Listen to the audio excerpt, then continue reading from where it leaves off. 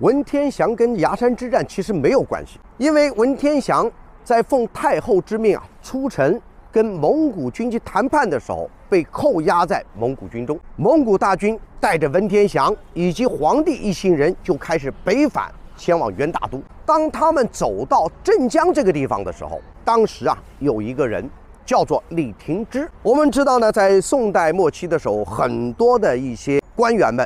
降的降，逃的逃，一点气节都没有。但并不代表当时南宋所有的人都没有气节。那李廷芝就是这样的一个人。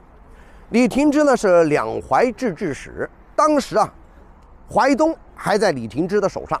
他听说了皇帝和太后都被俘虏，所以呢，他就率领了四万大军，准备要把小皇帝给抢回来。当时他率领的大军啊，在当时的瓜州这个地方。那遇到了援军，双方鏖战，鏖战之下，援兵大败。当时的李廷芝率领兵马是一路追击，可惜呢，一直没有追到小皇帝，也就是没有把小皇帝啊追回来。所以他担心了自己的扬州有失，他只好呢就回到了扬州。但这件事情呢，却给文天祥找到了一个机会，所以文天祥就趁着当时的兵乱的时候，于是呢就逃出了援军的魔掌。他呢就跑出来以后，他要去哪里呢？当时呢，他就赶到了郑州。郑州是哪里？就是我们现在江苏的仪征这个地方。当时郑州的守将叫做苗再成，看到了文天祥，非常的开心，因为文天祥的名气很大。他呢是在理宗时期啊，一个状元啊。当时呢，在殿试的时候洋洋洒洒写了一万多字，文章写得非常的好，所以当时的宋理宗啊，把他点为状元。认为这个人是天上降给宋朝的祥瑞，所以文天祥原来的名字叫什么呢？叫做文云孙。但是李宗给他赐名叫做天祥，字叫做宋瑞。南宋的南京失陷的时候，朝廷啊就开始天下秦王。当时呢，没有任何人去响应。文天祥接到了这个诏书啊，当时是大哭，开始变卖所有的财产，聚集了大概是一万人，准备呢。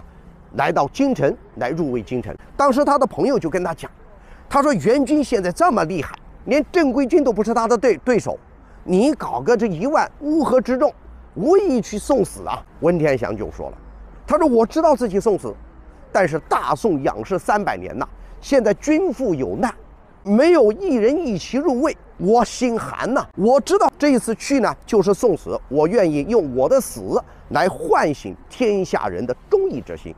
所以就这样，他当时呢就来到了京城。当他呢逃到了真州这个地方的时候呢，苗再成虽然接待了他，但是这个时候又过来探马，带来了一个消息：真州属于李廷芝管。当时的李廷芝啊，来了一封信，就说呢元朝放出消息，说他们呢放出了一个宰相，特地到他的防区来劝降。李廷是坚决不降的，所以呢他呢就写信给苗再成。说，如果你碰到了南宋的这个宰相，什么不要说，赶紧把他给杀了。那你想，当时的文天祥也是百口莫辩。苗再成虽然相信他，但是也无法去违抗李廷芝的命令。当时的文天祥只好又离开了真州。天下之大，到哪里去呢？这个时候他就听说了两个小王爷在张士诚的拥戴之下到温州去了，于是他赶紧马不停蹄的就赶往温州。这个时候，他才找到了当时的组织了。到了朝廷里面呢，是不是一切就能够如愿？啊，他是不是就能够展现自己的抱负，能够恢复宋朝呢？不尽然，因为当时朝廷虽然小，但仍然是扯皮不断。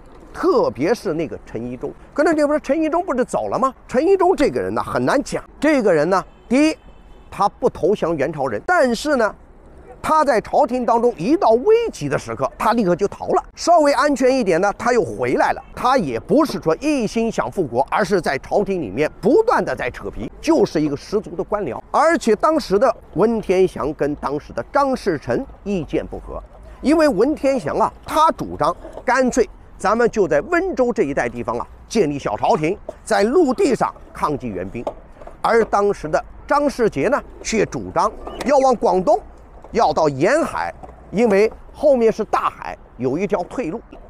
毕竟张世杰手上有兵权嘛，文天祥只好离开了朝廷，只身来到了陆地上。不过呢，他一路上啊，可以说是招兵买马，到了江西啊，呼吁天下的义军一起去反抗元朝。整个江西大部分几乎都被恢复了，但是毕竟人家元朝是兵强马壮，所以呢，当时的元朝呢就派了援军直接来攻打文天祥。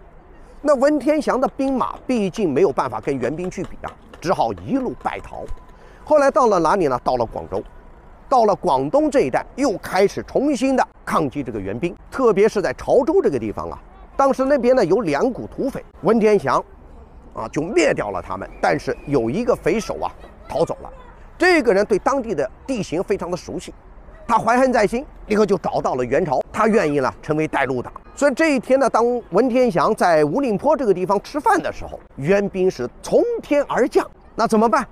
这个时候。文天祥身边呢有一个部将，看到事情紧急，让文天祥赶紧走。他换披上了文天祥的这个衣服呢，高声的大喊：“文天祥在此！”以此呢想给文天祥争夺一丁点的逃生之机。但是呢，没想到文天祥没有逃走，他呢也被抓住了。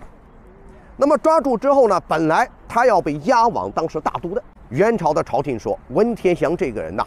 是个有能力的人，要折服他，所以呢，把他呢就压在张弘范的部队当中，要让文天祥亲眼看着自己一心想守卫的这个朝廷的覆灭，想以此来折服他，啊，想将文天祥收为己用。文天祥当时就写下那首叫《过零丁洋》：“人生自古谁无死，留取丹心照汗青。”